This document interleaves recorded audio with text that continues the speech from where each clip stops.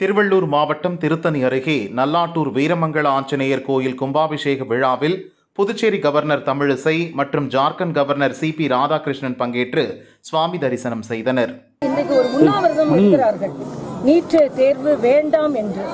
ஆனா இது எப்படி நான் பார்க்கிறேன் என்றால் மாணவ செல்வங்கள் ஏற்கனவே படிக்க ஆரம்பித்து தன்னம்பிக்கையோடு அவர்கள் நீட்டை எதிர்கொண்டு பல பேர் மருத்துவராகும் ஒரு சூழ்நிலை பல எளியவர்கள் மருத்துவராகின்ற சூழ்நிலையை ஆளும் கட்சியே அந்த நம்பிக்கை குலைக்கும் அளவிற்கு இன்று போராட்டங்கள் நடத்துவது சரியில்லை என்பது எனது கருத்து.